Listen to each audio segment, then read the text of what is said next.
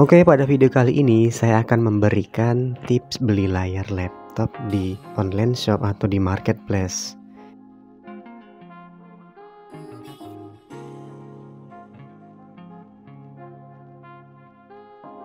Jadi, sebelumnya banyak yang bingung dan bertanya di DM beli layar laptop yang aman tuh bagaimana sih di online Sebelumnya saya membeli LED laptop di salah satu toko online, jadi saya tidak di endorse di sini dan tidak promo, hanya berbagi tips agar yang lainnya bisa paham dan merasa nyaman ketika membeli di online. Karena masih banyak yang ragu dan takut membeli layar di online dikarenakan ketika sampai barangnya itu takut pecah, takut rusak atau tidak sesuai dengan yang dipesan. Di sini saya sudah membuka paket pengiriman dari layar yang sudah saya order sebelumnya. Di mana di sini paket pengirimannya itu lumayan banyak juga lapisannya untuk menjaga keamanan dari layar tetap aman. Jadi banyak lapis-lapisan packingnya dan menurut saya ini lumayan aman dan kokoh juga ya. Bahkan sampai layarnya diberi lapisan lagi agar tidak terguncang ataupun tidak tertekan ya kemudian dilapisi juga dengan lapisan-lapisan yang ya bisa untuk membantu ketika paket ini dikirimkan maka akan mengurangi goncangan ketika diserahkan kepada kurir atau ekspedisi nantinya. Karena beberapa toko itu sudah memberikan pelayanan packing yang lumayan baik ya.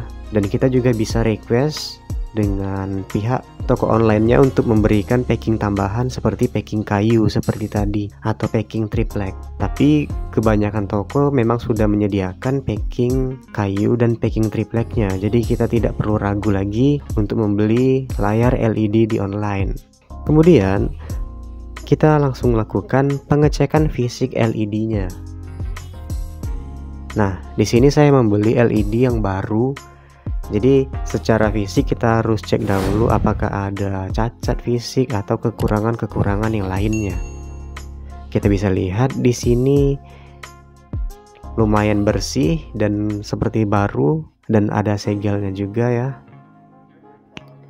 Ini merupakan segel dari pembelian.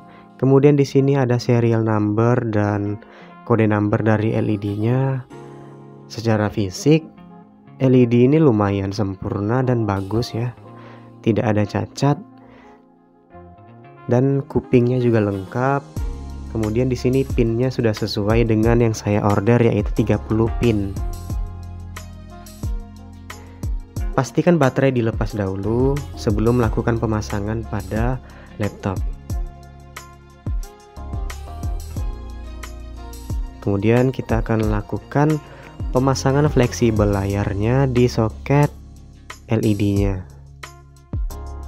Ketika pemasangan fleksibel LCD-nya, pastikan bahwa sudah rapat dan terpasang sempurna.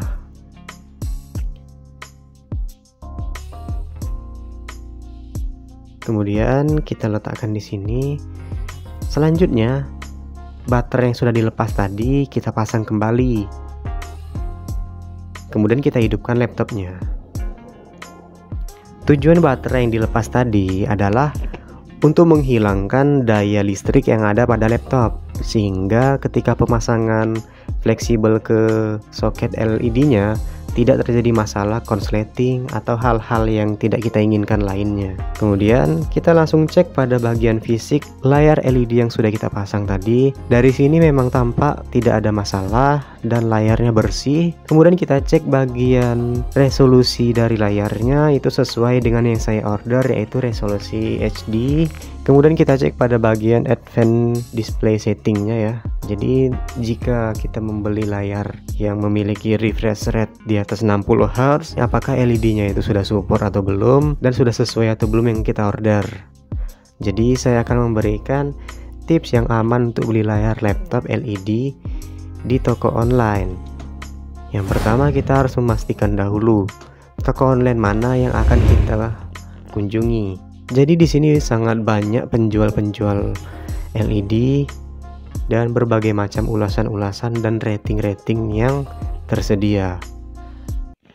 Nah, fokus kita hanya pada bagian rating terbaik dan ulasan-ulasan yang membangun. Kemudian, kita harus cek dan teliti pada bagian deskripsinya dahulu.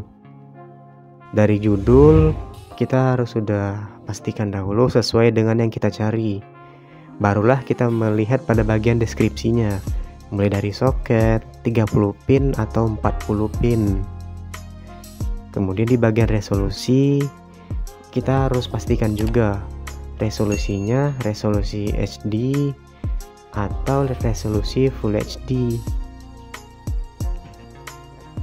Nah, maka dari itu kita harus pastikan dahulu hal ini sudah benar atau tidak. Jika hal ini salah, maka akan berakibat tidak sesuai dengan laptop kita. Dan yang paling penting adalah dudukannya, dudukan kupingnya ini atas bawah. Jika layar laptop yang standar umumnya itu memiliki dudukan kuping atas dan bawah.